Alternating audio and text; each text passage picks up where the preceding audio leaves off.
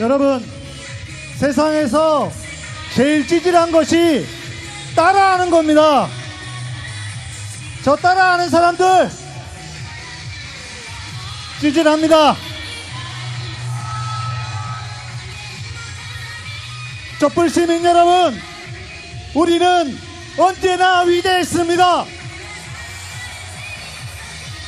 우리는 지지 않을 것입니다. 우리는 지지 않을 것입니다. 우리는 반드시 이길 것입니다. 조상들이 어떻게 지켜온 나라입니까? 왕은 도망을 가도 백성들이 의병을 일으키며 지켜온 나라입니다. 일제에게 나라를 빼앗겼어도 자신의 목숨이 하나인 것을 한탄하며 지켜온 나라입니다. 독재에 맞서 민주주의를 지키기 위해 목숨을 버리고 청춘을 바치며 지켜온 나라입니다. 우리도 반드시 이 나라를 지킬 것입니다. 그렇게 지켜온 이 나라를 일본에게 갖다 바치겠다는 인간이 있습니다. 그런데 그 인간이 대통령이라고 합니다. 무슨 이런 개 같은 경우가 다 있습니까? 개도 그런 짓은 안 할 것입니다. 무슨 일 있어도 막아야 합니다. 조상들과 선배들에게 죄송해서라도 도저히 용납할 수 없습니다. 악이 선보다 강하다고 느껴지는 나라 그냥 두고 보시겠습니까? 최악의 인간이 최고의 사람들을 핍박하는 나라 이게 나라입니까?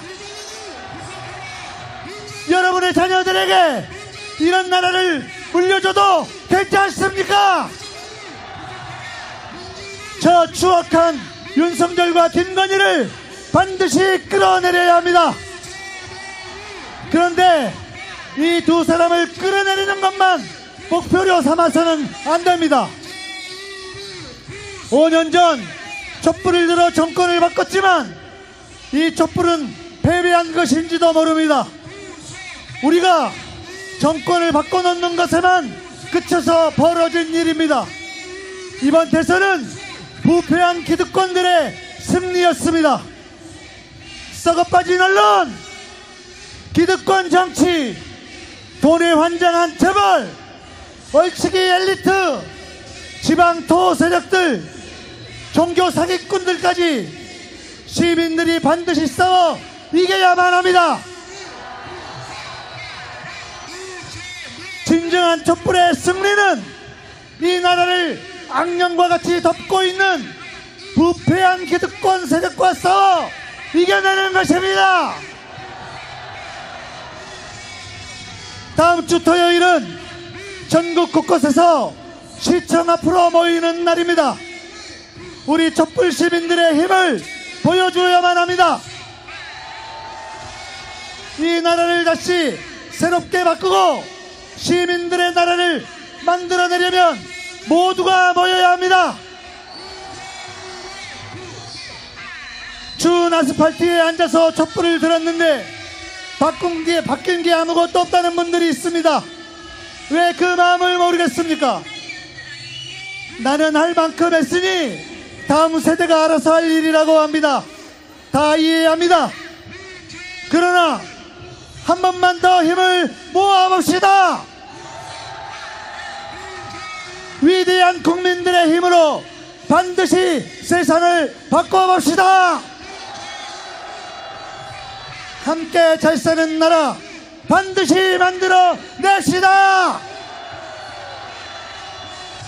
2022년 10월 22일은 위대한 대한민국의 새로운 시작이 될 것입니다. 우리는 지지 않을 것입니다. 우리는 반드시 이길 것입니다. 감사합니다. 구호 외치겠습니다. 윤석열은 퇴진하라! 윤석열은 퇴진하라! 윤석열은 퇴진하라! 감사합니다. 고맙습니다. 다시 한번 뜨거운 박수 부탁드리겠습니다.